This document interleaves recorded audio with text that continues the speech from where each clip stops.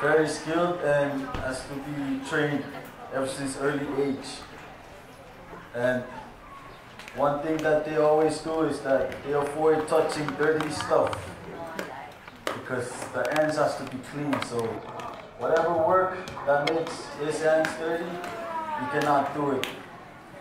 And it has to stay clean. And so I think we are at the end already.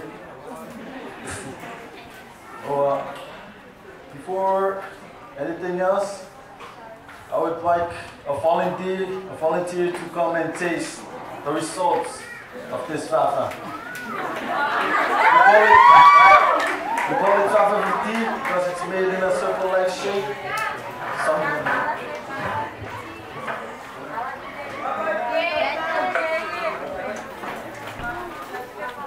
We make it in that circle shape so that all the syrup can go on uh, every surrounding of the fafa so that it can be really juicy.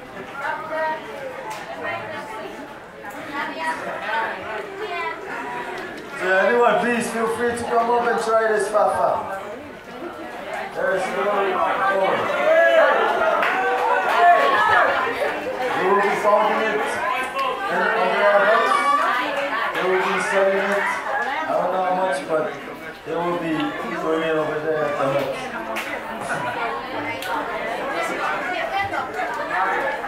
So, what do you guys think about the fafa?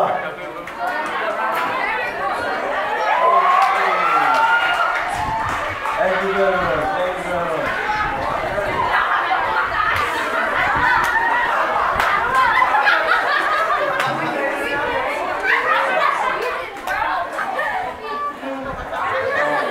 There's a little bit much. But after this, you guys can come and try it yourself if you guys want to. And like I said, you will be pounding more of it under the Roshana. And if you guys want to get some, I think it's not for free. So, I think this is it. We are probably at the end already. Um, thank you very much.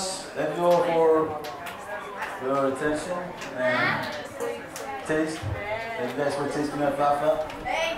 And that is all. Thank you very much. Oh, that's. Hey.